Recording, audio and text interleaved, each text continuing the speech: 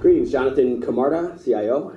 Hopefully, everyone's doing okay out there. As we roll into May and the summer hits, we've had a little heat come down in the market. Uh, first down month in the last six for April uh, for equities. S&P, Dow down five six percent uh, from where they were at the highs. Nasdaq down a little closer to eight. Most of them retraced, still about three percent off those tops. So what's going on? What's causing this, and what does it mean for you? So let's just start with Jerry and the Feds. They've been holding back on cuts. We had 8, 9, 10. Who knows how many cuts they were calling for at the end of the year, down to maybe zero. Uh, now we're still looking maybe on the back half of the year, even though we're in a political season, at a couple. Now, here's the deal we've been having sticky numbers. Employment's been stubborn, rates have been high, dollar's been strong, but we just saw a little crack in that, like we talked about with the employment numbers. In fact, just today, fresh, we had 175,000, way off what they were looking for. So, and Jerry early this week, for anyone that was a masochist like I was, they watched exactly what he said uh, that if there was some weakness in employment numbers, that would be the catalyst for a cut. And so maybe July, still less than 50 50. September, 70%, if you can believe it in a political year before November, but we shall see. So, what does this all mean? Well, equities are rejoicing, and they have bounced here uh, early in May. Uh, so it'll be very interesting with rates coming off, right? We talked about the two and the 10 year, we got all wonky with the yield curve, but the two year is now coming down from the fever at 5%, and the 10 year off uh, into the mid fours. Pretty attractive with the dollar coming down as well, which means, again, equities risk on. We're seeing that at least in the short term. However, before you get out your pom poms, this is a seasonally weak time of year, most years, but election years these months of the summer, these dog days of the summer, can still have an uprising. So that's why we are watching that. Now, if you look at the what we look at the National uh, Association of Active Managers, uh, they came down, they ran away uh, during the month of April, got down to about 60, 61% in exposure to equities. We took a little off, but we, again, looking at the longer term picture and some of the geo, uh, you know, the global macro uh, backdrop, we stayed still, even our aggressive strategies in the 80s we want to see how this party plays out.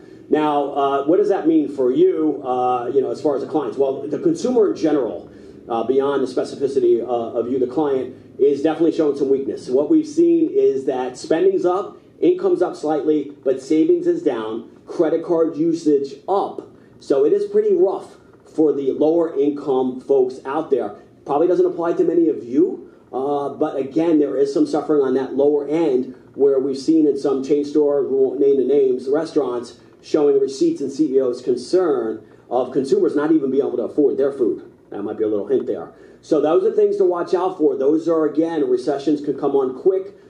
There's also talks like we talked about a stagflation, right? Inflation stubbornly high, but growth low.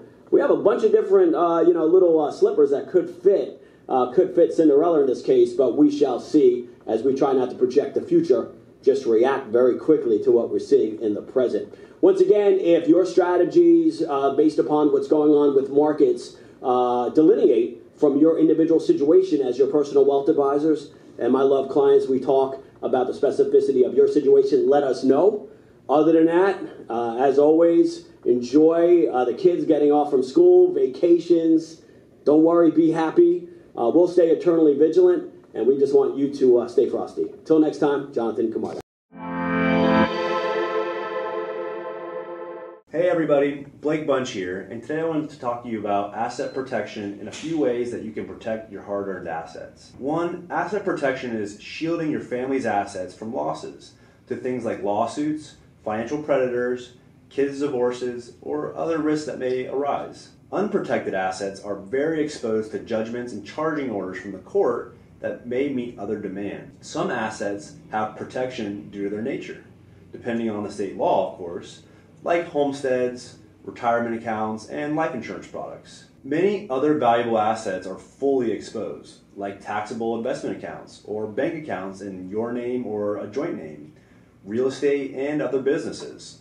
Corporation owners frequently have false senses of security. The corporate veil protects owners and their assets from liabilities of the corporation, but the corporation can be lost if the owner is sued personally, like from a car wreck or a real estate liability. One of the best first lines of defenses that we use is insurance. uh, including big liability umbrellas. Other ways that we protect your assets are using strong structures, like properly constructed LLCs, and in rare states with strong LLC charging order protection laws. This is a very important second line of defense that you can utilize. Siloing assets is important as well.